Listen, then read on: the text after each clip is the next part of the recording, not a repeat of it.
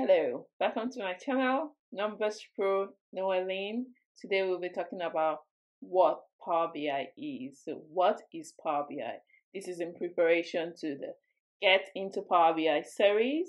So, subscribe to join. It starts January 2021 and it will cover everything about Power BI, how to use Power BI, Power BI Desktop, publishing um, reports to Power BI, online service, and sharing this report. So, what is Power BI? Power BI is a self service and enterprise business intelligence tool which we can use to connect to and visualize any data using a unified scalable platform. So, Power BI lets us connect to multiple data sets from different sources to create our reports. So we can connect to data both online, on premises, and cloud data. And we do this using over 120 customized data connectors that we have access to as at today, as at December 2020. And it lets us connect to Excel, CSV, SQL databases, any other database you can think about on premises, on the cloud, and also online services like Google Analytics, Asana, any online analytics platform, most online analytics platform. So, how do we do this? You go get into your Power BI desktop, go to get data, then you see the list of data connectors you have access to. So file, Excel, CSV, JSON, databases like SQL database, Postgres database, and many other databases that you can access.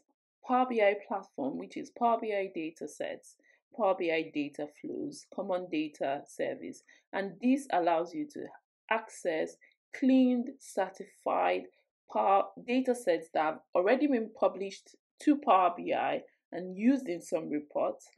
Um, and most often we use this to ensure that we have one source of truth.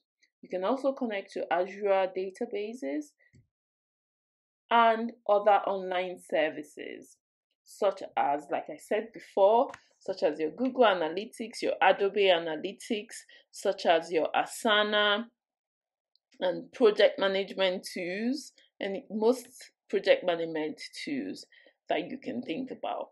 But also, we have a section where you can create customized data connectors using, for example, R or Python or ODBC connectors.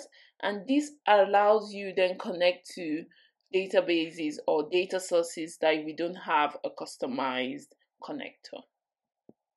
So Power BI allows us connect to data sets from multiple data sources. And Power BI is made up of Power BI Desktop and Power BI Online Service, as well as the Power BI mobile app. So the Power BI Desktop allows you to create data modules and interactive reports. So this is where you're able to connect to these data sources that we talked about by going to get data, getting all the data that you want.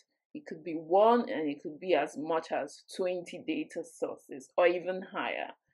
Connect these data sources either by using manage relationship or by going to your transform data, which is your Power Query, and there you're able to import data sources again,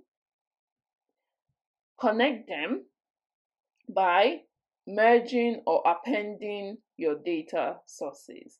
And also you can create additional columns, either conditional columns, um, for columns based on formulas. You can reformat your columns, you can reformat your table, reduce it, filter it. So you do your extract transformation load process in Power BI Desktop, create your reports in Power BI Desktop, and it's important to note interactive reports. And then the next thing is how do I collaborate and share my report? That's where Power BI Online Service comes into play. So we have Power BI Pro, and Power BI Premium. So Power BI Premium is the most costly online service when we compare that to Power BI Pro. It's mostly enterprise and it allows AI powered data modeling by using Auto ML, cognitive services, and the Azure machine learning.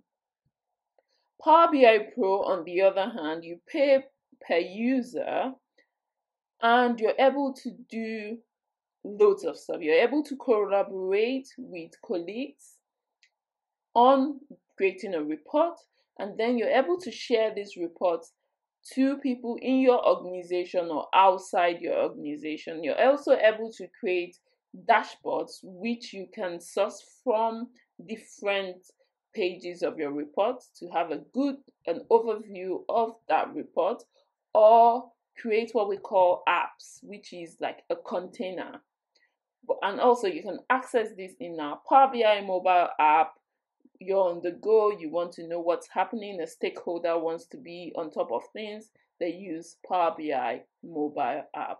So join me on this journey. I'll be releasing one video, at least one video a month. Some months you would see more. It would be between 5 to 10 minutes to make sure it's short, concise, and straight to the point. And the aim is by the end of the Power BI online series, you should be able to use Power BI. It launches January 2021. So please join me on this journey by subscribing. Also, share with your colleagues, share with your friends so that they can all join us. It will make the comment session more informative because I would love to see your questions. I would love to hear your feedback to improve videos based on that. Thank you very much and see you in my next video.